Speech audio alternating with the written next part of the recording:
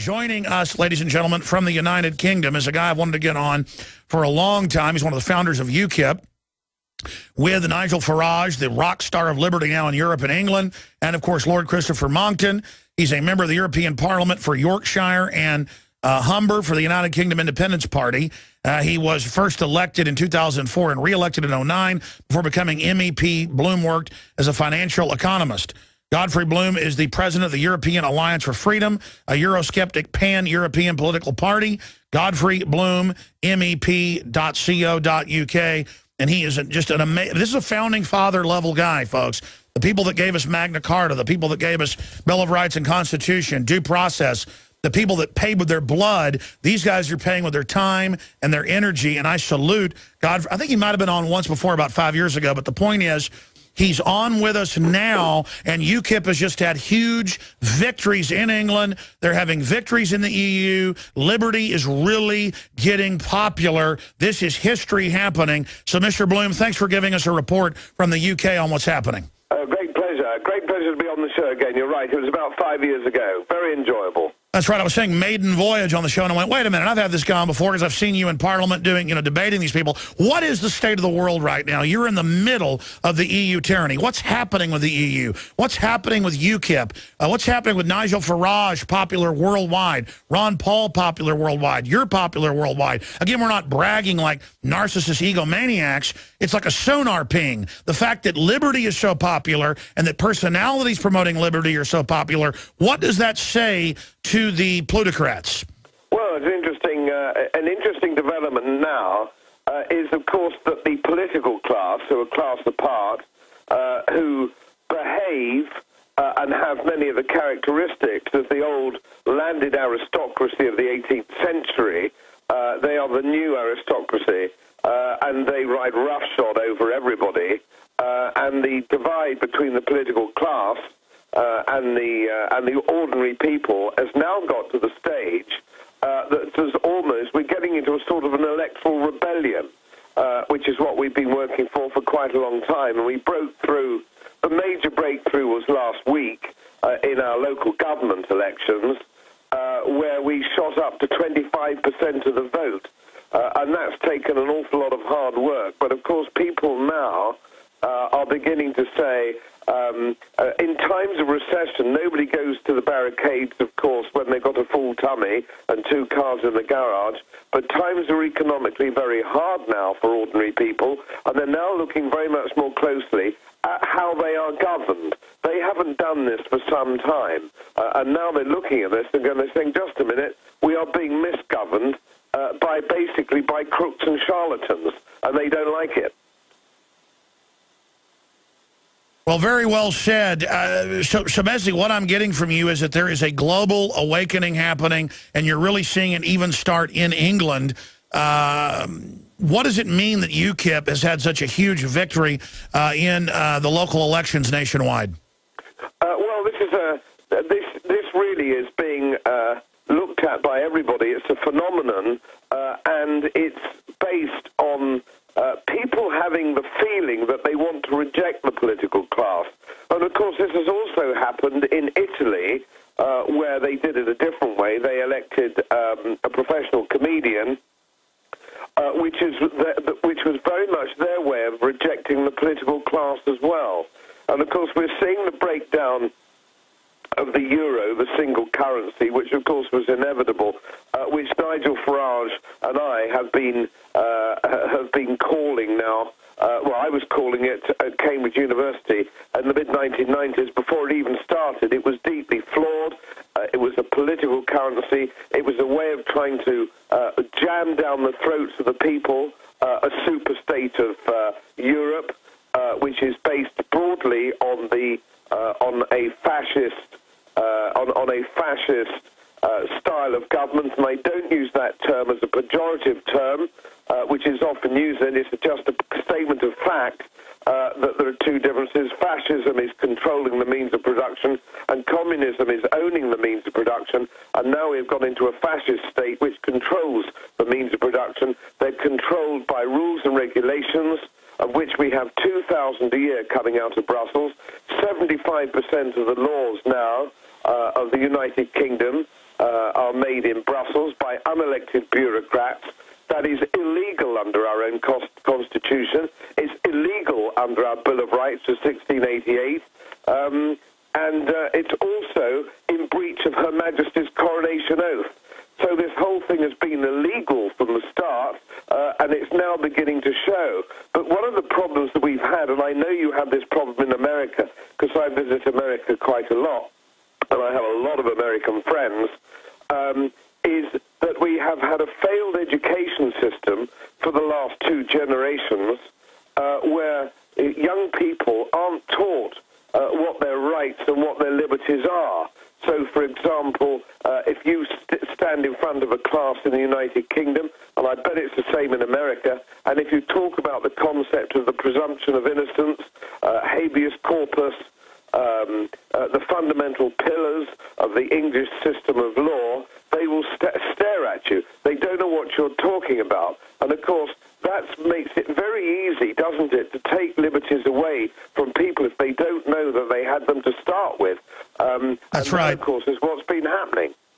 A member of European uh, Union Parliament, uh, Mr. Bloom, uh, joins us right now. Godfrey Bloom, we only got one more little short segment. He's got to go at the bottom of the hour. We're about to go to break, but I want to get this in here right now. What is happening, because you're inside the EU, watching it from the inside, how bad is the meltdown?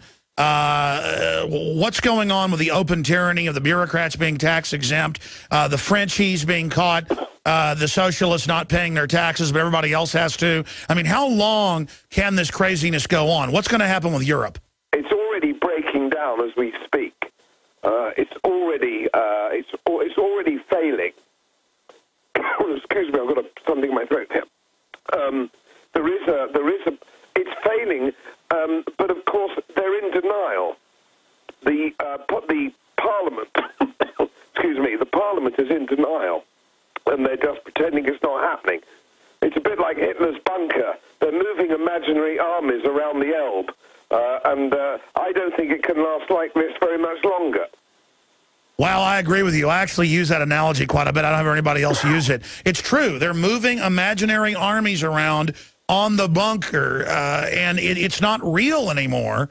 And but they are still in control. So when we when we come back, I want to ask you where you expect it to go, how big a deal it is, because people are like, well, why do we care if UKIP? It's like Ron Paul, folks. It's libertarian, pro-sovereignty, pro-family, anti-tyranny, pro-due process. And the, and the media over there goes, they're fascist, they're fascist. But now the Brits and, and people in the UK are listening, and the people in Europe are listening and now mimicking it and going, no, no, they're real liberals. They're classical freedom people. They're Thomas Jefferson. They're William Wallace. Uh, but finishing up with member of the European Union Parliament, Godfrey Bloom, uh, it's a big deal to have people that basically are constitutional libertarians. I mean, sound just like Ron Paul, sound like me. You know, anti-globalists, exposing the Bilderbergs, to have them going from 3% to 25% to, and now having other parties imitating them and having the mainline parties scared and in a parliamentary way, they're, you know, you had 25%, you win 25%. So they're taking over, and even mainline analysts are saying it, but Europe is collapsing. So you're an economist, you're an expert on this. In the five minutes we have left, Mr. Bloom, uh, what is going to happen with the big central banks? What's going to happen in Europe? Uh, well, we have the problems here of, uh, of debt, uh, overwhelming debt, debt that cannot possibly be repaid. Uh, the shadow banking system owes Germany somewhere in the region of 900 billion pounds. That can't possibly be repaid. In the United Kingdom, we've just moved over a trillion, uh, a trillion pounds, not dollars, a trillion pounds uh, of national debt, which is going up at 10% uh, every year. Even since this so-called conservative administration took over, it's still going up at the rate of 10%. So it means the conservative, the so-called conservative, because they're not conservative at all, the conservative government is going to hand back in 2015 a national debt which is half as much again as the one that they inherited. Uh, nobody is yet, either in Europe or the United Kingdom, prepared to admit that this whole post-war welfare experiment uh, has has failed. Uh, that you can't. We spend in the United Kingdom 200 billion pounds a year uh, on welfare. We borrow that money to pay young people to sit at home and not work. uh, we import uh, workers from Eastern Europe and other parts of the globe to work, uh, while as, as much of our young indigenous population is unemployed. It's 28% and rising. In Greece, it's 50%. The Iberian Peninsula, 50% young people unemployed. That isn't sustainable for any society. You can't have that number of young people unemployed. Uh, the banks, the Fed, the ECB, the Bank of Japan, the, the Bank of England are all printing money. That must end in disaster. Uh, we're going to have to get back somehow hard money, commodity-backed money. Uh, we're going to have to get rid of the central banks, which actually manipulate interest rates. Old people are struggling because their savings aren't getting in interest rates. They're defrauding the, the, the, the savers uh, in Europe. They're defrauding them. People who have led, led, led good lives, people who have led sensible lives, they've worked hard. They've worked all their lives, and now they're not getting any interest uh, and the country, all these countries uh, are in debt. They're handing on huge debts to their children and their grandchildren, and I can't see personally any way out other than default. And that goes for the Europeans, the United Kingdom, and sad to say, I think default is possible in the United States. And the, uh, at Davos, as you know, their answer is bring in global carbon taxes to prop up SDRs, 100 trillion per decade, to give the very insider bankers that engineered all this even more power. They think they're going to get a total takeover out of it.